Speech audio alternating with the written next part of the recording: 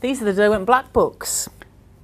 So we have lovely, rich, deep black paper inside, all held together and bound by this lovely matte finish hardback cover and the elastic band to keep all the pages in place, which is really useful if you're using it to store photographs or put, your photographs in and uh, scrapbook making and things like that.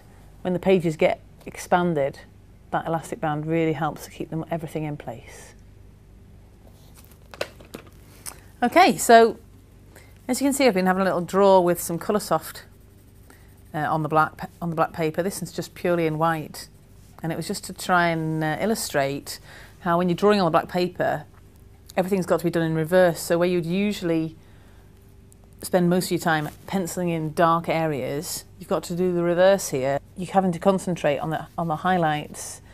So where you want it really dark, you don't put anything at all, or if you do want to shade it slightly, it's a very, very, very pale shade, and letting the black paper show through give you different tones. So what I'm using here is Coloursoft and it, it works really, really well on the black paper. I'll give you a quick demo. Look how bright those colours come up. Red in particular, what beautiful colour.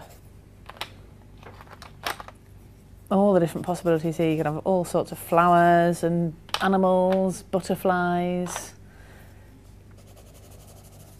it's just really, really vibrant and really, really shows off the black paper and vice versa. Because they're so soft and easy to use, the colour really transfers to the black beautifully. You've got that really bright, intense colour coming through. I'm just going to add a little flower to this uh, bit of crafty work. And you should be able to see here how, how nicely the, the metallics are showing up on the black. The other pencils that work extremely well with the black paper are the pastel pencils. I'm just going to show you a really quick little project you can do. It won't take us long at all, so you can see how it works. I'm going to do a little moon scene and see how, how extremely bright that white is on the black. Remember the moon's not completely thing, so I'll leave a bit of shadow area there. I'm going to blend that in a minute. To lay down sort of blue haze around the moon. Which will get blended into the night sky and a bit of purple after that.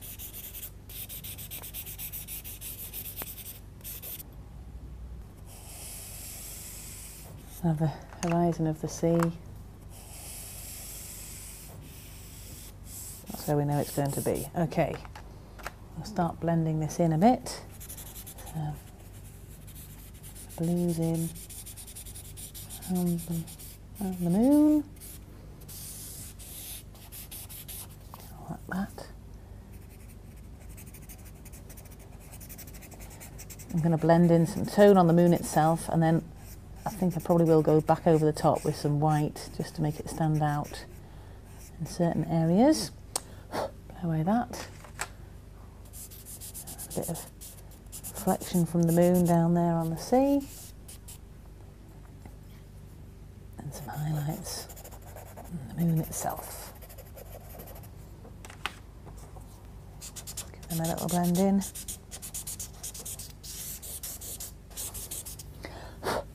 Very quick and simple moon over the sea.